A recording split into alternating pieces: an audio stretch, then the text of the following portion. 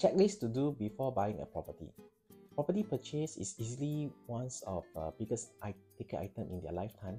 While it can be intimidating, but it also can be very rewarding once you have become a very proud homeowner.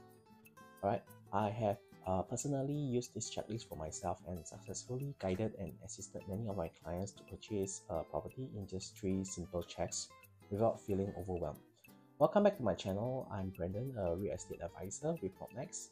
So today I'm going to share what to do or prepare before buying a property.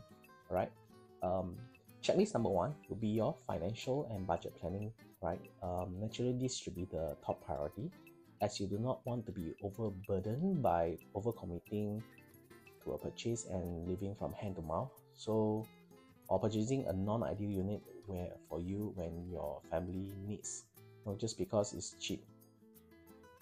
Alright, my ideal recommendation is to calculate the maximum purchase price for property that you can afford and less less it about 10 to 20 percent. That should be very comfortable enough.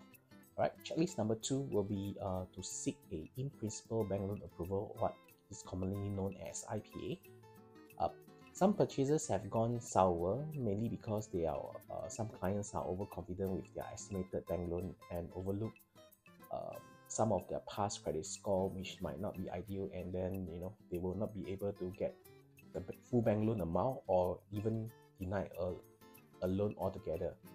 So my ideal recommendation is to submit full income proof to your um, to your ideal banker and get in principle approval before committing to a purchase.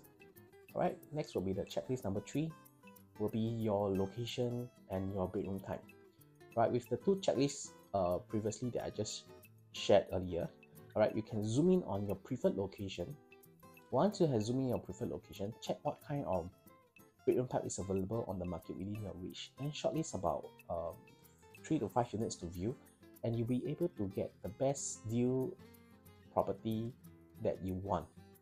Alright, I do hope this uh, video has been useful to you. I've created another video sharing about how to purchase a property for a lower price. The link is in the description box below.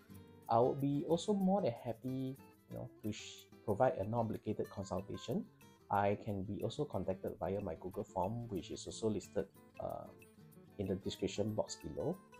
Please help to like and share and subscribe to my channel. Thank you, and I will see you in my next video.